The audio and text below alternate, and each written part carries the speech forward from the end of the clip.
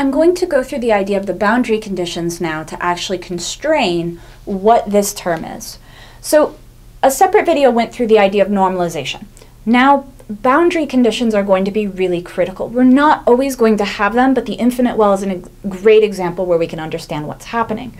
We've said that at x equals 0, we in fact have to have our wave function equal to 0. That's why we have sines and no cosines. Now we look at the other edge. We have two boundaries to worry about. So one boundary allowed us to actually throw away the cosine term. The second boundary is going to constrain what these EI values can be. So what do we do? We say, well, when I have my wave function at x equals L, that has to equal 0. And so that's going to be that normalization coefficient, which again, we find through integration, and we don't need to know exactly what it is for this. And then we have sine, and I'll write this out exactly actually, for 2m e to the i over h bar squared x. Now in this case, x is going to equal L. So what do we know about this? Well, when is sine of something equal to 0? Sine is equal to 0 when you have n pi, right? Where this is an integer, so 0, 1, 2, so on, right? So if we think about kind of phase, we've gone through half a cycle here, so this would be like 0 pi, pi.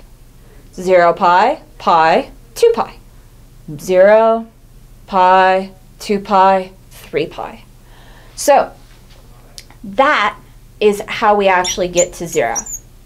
So what we then can say is, oh, this inside in fact has to equal n pi. So at this point, we can just work with the inside of the function. And so I get to say that my square root of 2m ei over h bar squared L equals n pi. Now there's one thing I'm going to change a little bit here. Originally, I was calling this e sub i, because that's what I started with. But now actually what's happening, let's switch colors, is that we're saying, oh, this is actually e sub n, and I have this n.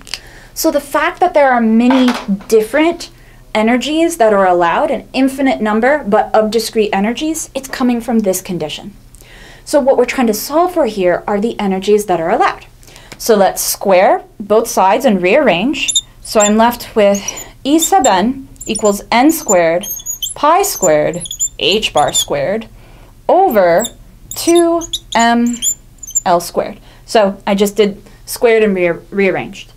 So this is now a condition on what the allowed energies are. It's a function of n. And in this case, even though we said that, oh, you know, n could be zero and this would be true, if n is zero, that means my energy state is zero. So this is actually really just true if n equals one, two, three, so on. Positive integers. Now, we don't want to talk about negative energies in this case. We're really just defining this first, um, this first one to be a, a positive value. So this is the idea of the boundary conditions. The boundary conditions what the width of this looks like or what one of the edges are, that has in fact constrained what my E sub i are.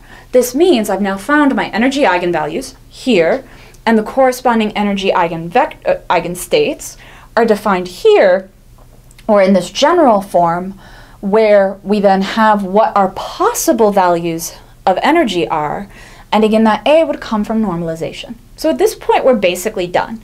But notice that we had to really understand what these sinusoidal functions look like in terms of the geometry of our well, and we had to do that integration to get what that normalization is. But now we're done.